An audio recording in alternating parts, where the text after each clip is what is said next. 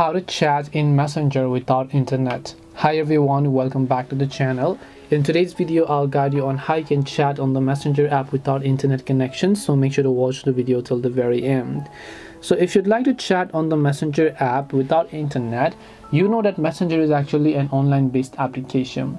You can set messenger app as like a default messages app like this and then you can actually start talking to people but for that you have to pay a certain amount of a balance as well.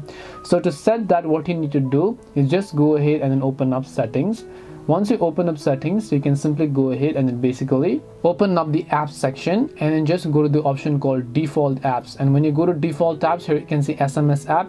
In the sms app just select messenger. Now once you've done that open the messenger app over here. You'll be able to see all of your messages as well now even if you do turn off your internet connection you can see i have turned off my wi-fi as well as my internet. You can simply send messages to people or you can just tap the search option over here. You can just select messages option to any of the person that you would like to send over here. Once you select any of the person that you would like to send a message to you can just go ahead and then select this option. You can choose the sim card and then you can just send them a message like this. Once you send them just tap the send option. The person will most likely actually receive this message as you can find over here even without the internet connection and this is chatting offline. Otherwise if you want to chat online then there is only one way and that is that you have to do it with your wi-fi connection. Otherwise there is no other way. So hope this video helped you guys. If it did help you then make sure to leave a like and subscribe to the channel. If you have got any more questions then feel free to leave them down below.